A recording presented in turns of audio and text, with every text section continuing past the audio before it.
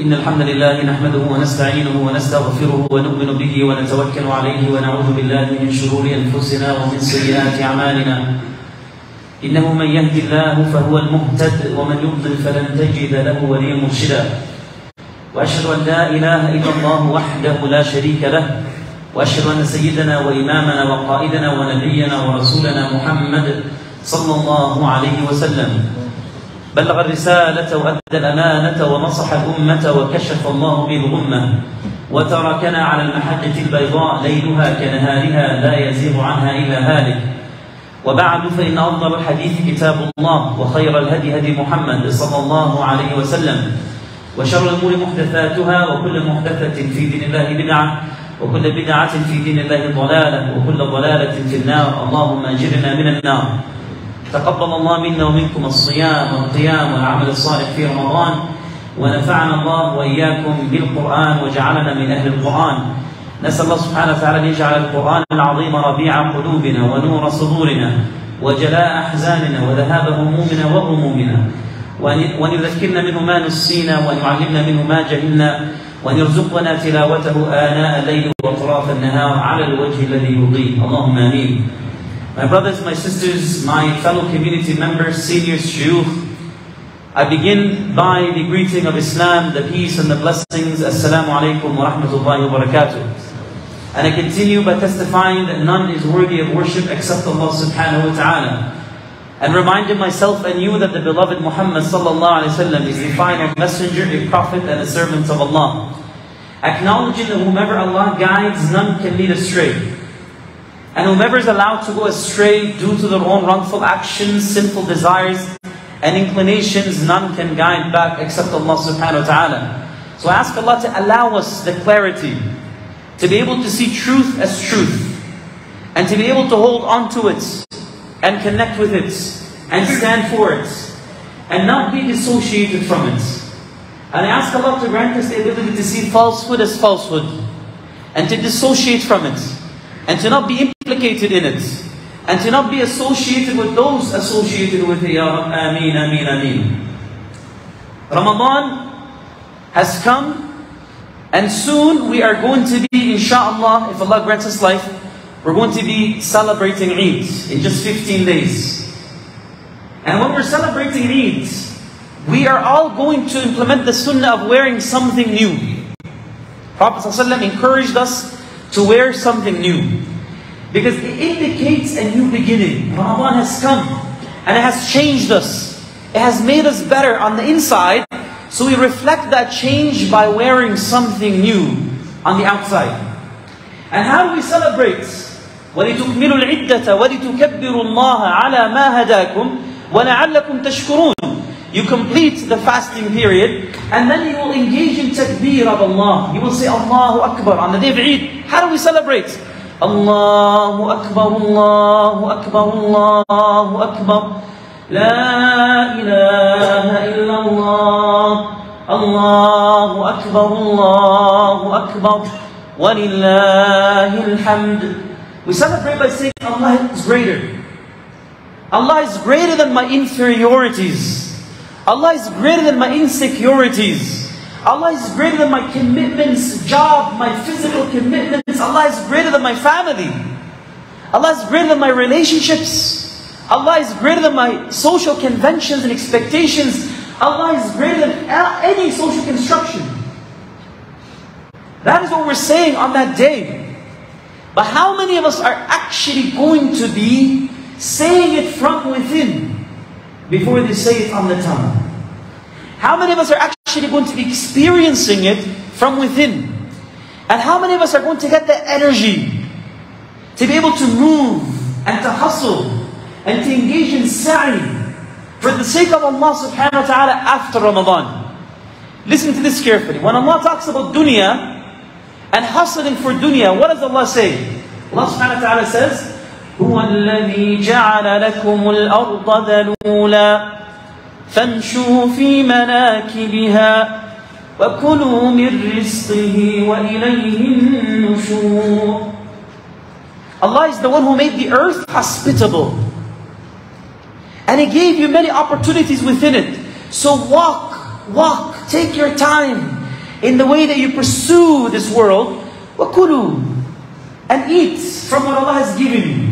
So when you're pursuing dunya, you should be what? Take your time. Don't rush. Don't hustle. Take what you need. Take your time. Walk. Because it's important, but it's not the most important. That's not where you put all of your energy. You see people when they're driving in the morning, maybe not in Calgary, but in Toronto, at least in bigger cities, New York, you'll see people 4 in the morning, 5 in the morning, on the highways, one hour and a half, two hours and a half on the highway to get to work, to hustle for 8 hours, 9 hours, 10 hours, to bring home a check. Repeat, repeat, repeat, stuck in this cycle. Stuck in this cycle of need, wanting to meet needs wanting to fulfill themselves financially, wanting to consume from dunya. But Allah tells us in our pursuit of dunya, we should what? Yes, take what you need, live a good life, comfortable life. But when, you, when it comes to managing your energy, a lot more of your energy should be given to the akhirah. Look what Allah uses, the words He uses when He talks about the akhirah.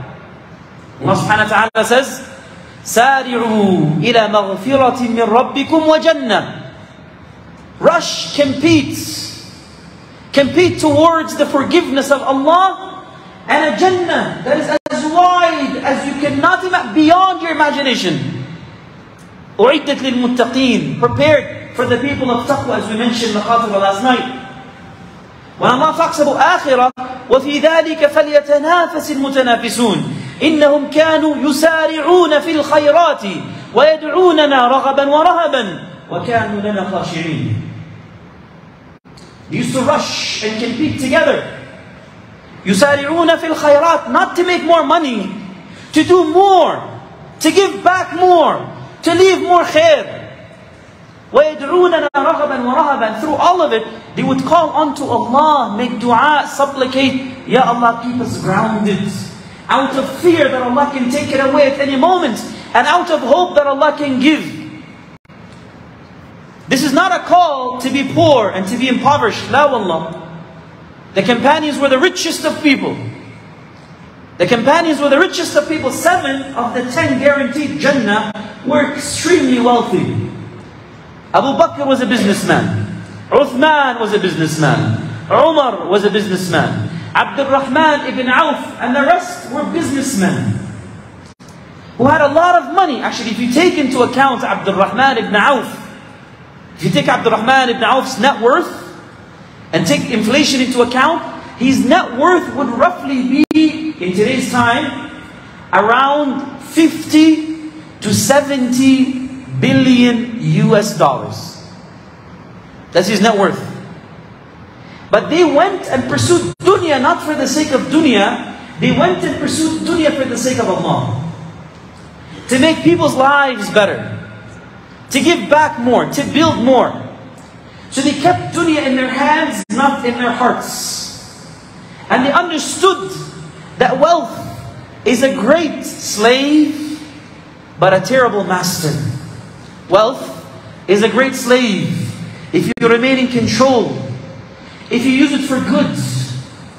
But the minute it begins to control you, the minute it begins to define you, you start saying, I'm better than this, I'm better than that, I am, you begin to define yourself by your wealth, not by what you do for the sake of Allah with your wealth.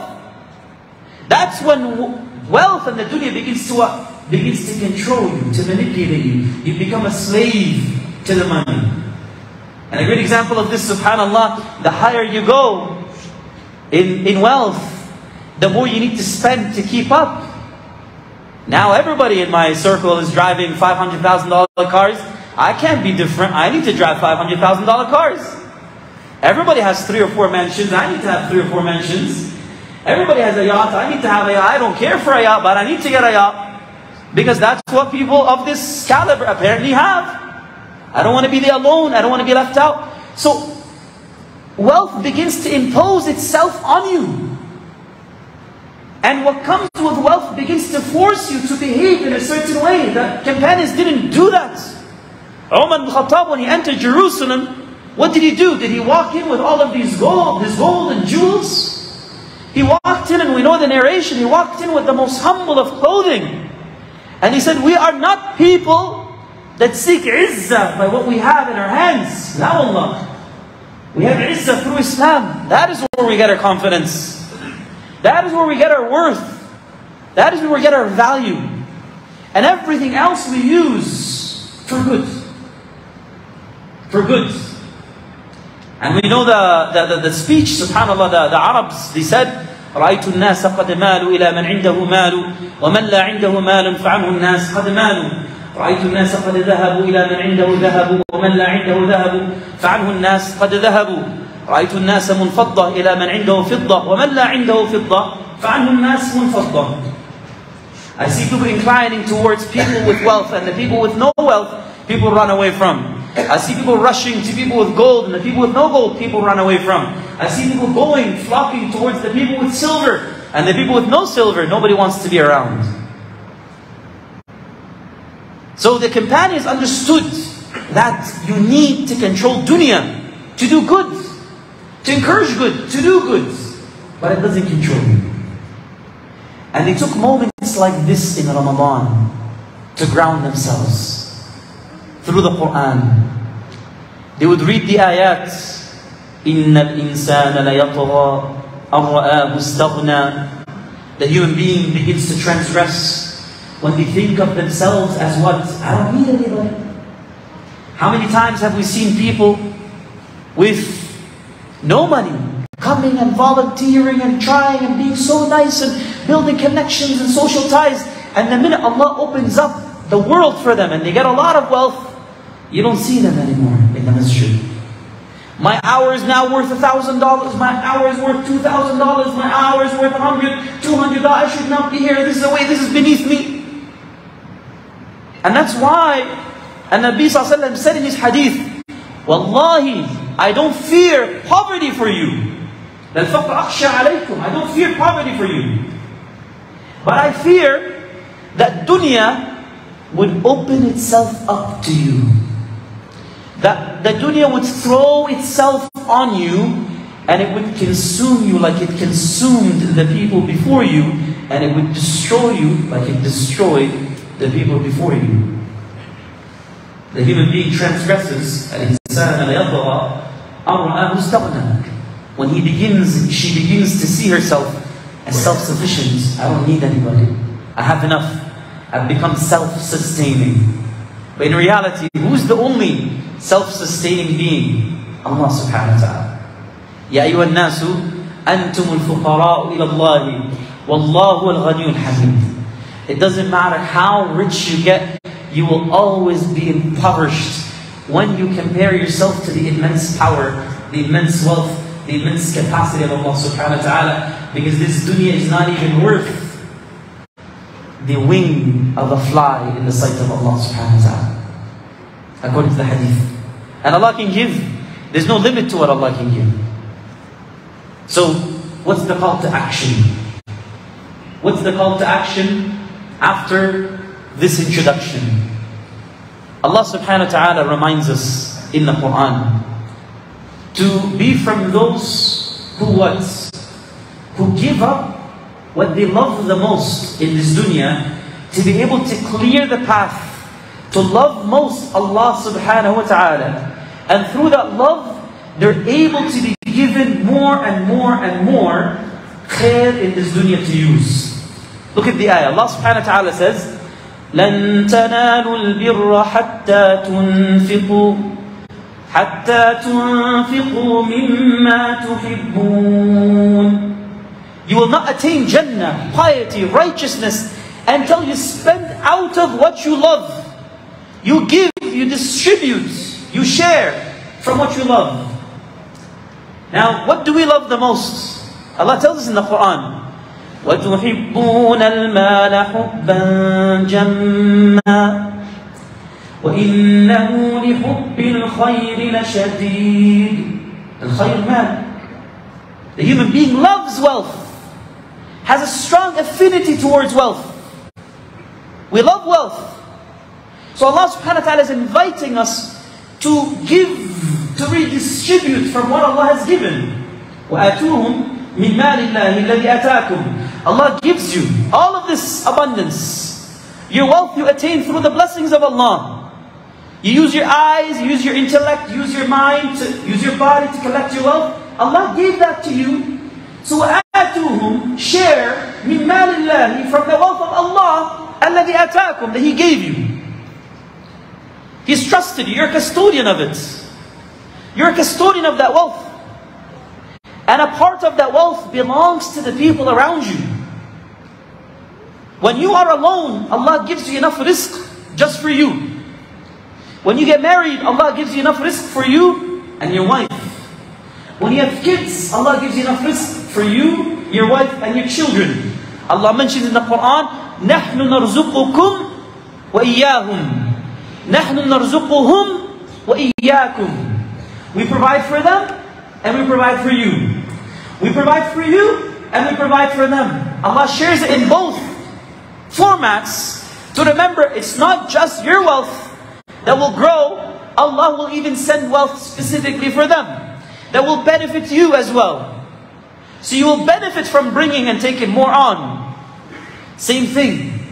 When you say to Allah, Ya Allah, I am not just going to take care of myself and my family, but I am making a commitment to spend whatever amounts of my wealth to my community. Every week, every day, every month, Every year, beyond my zakah, I will dedicate 10,000, 15,000, 20,000, 100,000, relative to what you're capable of, to my community. A portion of it to the faqir, a portion of it to the miskin, a portion of it to expansion, expansion projects in the masjid, to Quran projects, to sponsoring orphans, to helping young people, whatever it may be, to some, you know, commissioning, printing of the masahif, translations of the Quran, that can be used for da'wah. When you now have dedicated and allocated a section of your wealth for khair that benefits the community, guess what happens to you now? If it's sincere, Allah begins to bless you now. Because you're giving, people depend on you. So Allah gives you not just for you, gives you for the sake of others, if it's sincere. And that's why Nabi says, ما نقص مال من صدقة Your wealth will never diminish by giving, by sharing, by giving sadaqah. And sadaqah is called sadaqah because it's a confirmation of your truth. You say you believe. من الصدق صدق الإيمان You say I believe in Allah. Ya Rab, أنا آمنت. Sure you do. Do you really believe? Let it be seen through your giving, through your charity, through your sharing. Allah mentions Surah Al-Layl to highlight this. Allah mentions, أما من أعطى واتقى وصدق بالحسنى فسنيسره لليسرى وأما من بخل واستغنى وكذب بالحسنى فسنيسره للعسرى The one who أعطى واتقى gives and protects what they gave by remembering and reminding themselves to remain humble. You know, some of us we give and we say, okay, I've given, now I can, I have, I have, I've given, khalas, now I can waste a little bit of time, I can enjoy, I can indulge a little bit. But no, you've given, you've distributed that wealth, you've shared from what Allah has given you, and now it's an investment with Allah that you don't want to lose. So, I don't want to lose that barakah, that blessing, so you continue to do more. You do more to protect it. You engage in istighfar, you engage in salah, you engage in dua because you want to protect it. أعطى واتقى وصدق بالحسنى When they give, when they share, they believe in the good in themselves. They believe in the good in others. They believe in the good, ultimate good, which is the good waiting for them in Jannah. That's what motivates them. Sometimes people say, oh, don't give this masjid, don't give these people, they're going to misuse that money. But Allah says, وَصَدَّقَ بِالْحُسْنَى They believe in good. They believe in the good in people. I trust my brothers. I trust my sisters. I trust my community to do good with this. And I trust that Allah will use my halal wealth for good and it will reach good. وَصَدَّقَ بِالْحُسْنَى فَسَنُيَسِّرُهُ لِلْيُسْرَى The one who does this, Allah will make it easy for them to get to a path of ease. Allah will make it easy for them to get to ultimate ease, Jannah. You find yourself getting up for Fajr lighter, enjoying the Quran more, being happier, You know, one of the secret keepers of the Prophet Muhammad sallam, Hudayfa bin Yaman, when the Prophet Muhammad was in Uhud, uh, in, in Khandaq, and he said, I need somebody to get up. Everybody was cold, everybody was tired, everybody was not sleeping, no sleep for days. They were digging, tired, exhausted. I need somebody to crawl across the tent, to go to the other side, to give me some news about what what's going on so we can plan, prepare. Nobody wanted to get up. Prophet Muhammad said, whoever gets up, I guarantee them my companionship in Jannah. Nobody wanted to get up. Because it was such a difficult situation. Then the Prophet Muhammad saw potential in Hudayfa, pointed to him, Hudayfa, you do it. We gotta act quickly, gotta be decisive. I choose you. And I'm making dua for you. Go ahead. Hudayfa says, Wallahi, when I got up, right before I got up, there was fatigue in my bones. There was no warmth in my body, absolutely cold. I had no energy. I was exhausted. You know, you're running on fumes. As soon as I got up for the sake of Allah subhanahu wa ta'ala, I felt energy, warmth, comfort, decisiveness, barakah, clarity. And subhanAllah, because of the brevity of time, I cannot tell you exactly what went on. But go read how he made such amazing contributions because of that. And the idea here is, when you decide to be, you know, focused on yourself and your family only, and, the, and, and there's importance in that, but you just become khalas, I don't care about the community, let, let it be somebody else's problem. Not my problem. You will have just enough energy, wallahi, for you and for what you have going on. The more you take on, the more you take on these shoulders. You take the community's needs on your shoulders, you carry the community, this is my family. These are my people. These are my neighbors. Their children are my children. Their women are my sisters. I care for them. What concerns them concerns me. What worries them worries me. What can I do to help? You have the attitude, Wallahi, you will find that Allah will uplift you. Will give you strength and warmth and confidence and purpose and barakah in everything that you do. May Allah make us among those who do that, Ya Rabbi. Ameen. May Allah make us among those who lift the community on their shoulders and care for the community and invest in the community. Not for any ambition or selfish motivation or a goal or a desire that is personal, but for the sake of Allah subhanahu wa ta'ala. As Allah finishes Surah Al-Layl with the ayat about who? Ayat about the most amazing of companions, Abu Bakr. وما لأحد عنده من نعمة تجزى إلا ابتغاء وجه ربه الأعلى ولسوف يرضى Who was this man? He used to give from his wealth to set the slaves free. So his father came to him and told him, Hey, why are you setting weak slaves free? They're weak, they're not going to help you. If you're going to spend from your money, might as well set the strong slaves free. So one day they can return the favor. Abu Bakr didn't say anything. He just kept silent because it's his father, out of respect. He simply smiled. But the Quran came to explain his state.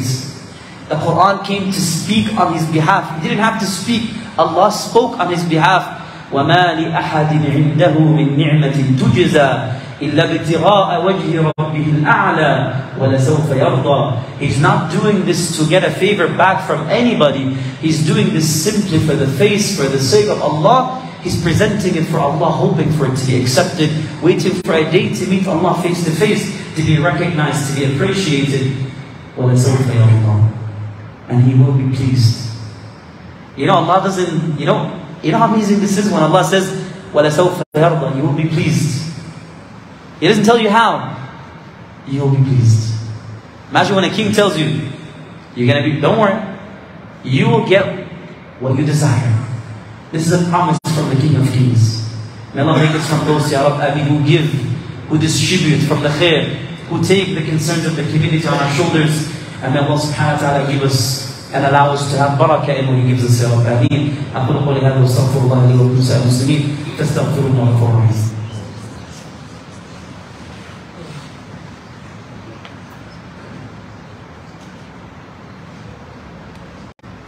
الحمد لله وكفى والصلاة والسلام على من اصطفى اللهم اهدنا فيمن هديت وعافنا فيمن عافيت وتولنا فيمن توليت وبارك اللهم لنا فيما أعطيت وقنا واصرف عنا برحمتك شر ما قضيت اللهم اهدنا واهد بنا واجعلنا مهتدين. اللهم بارك لنا وفينا وعلينا واجعلنا مباركين. اللهم قبلنا وتقبل منا واجعلنا مقبولين. اللهم آتنا في الدنيا حسنة وفي الآخرة حسنة وقنا عذاب النار.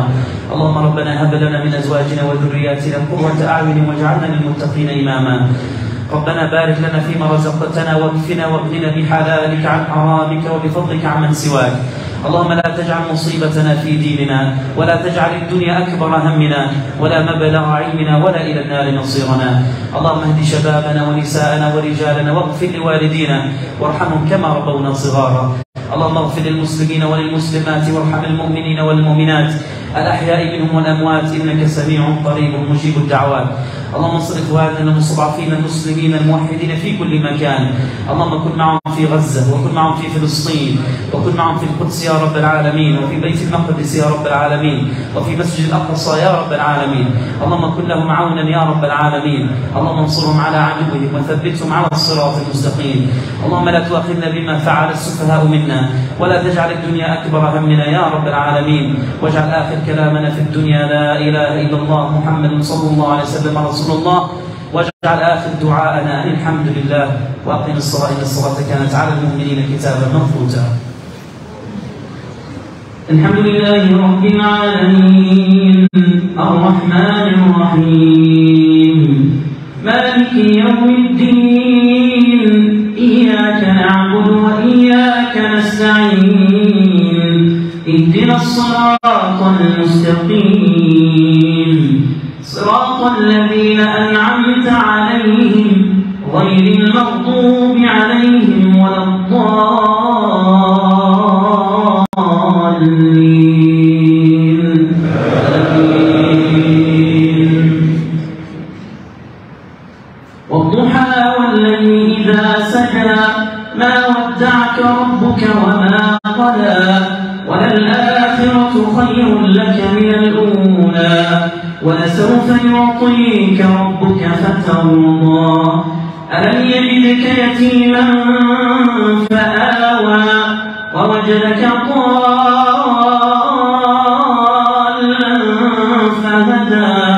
ورجلك ووجدك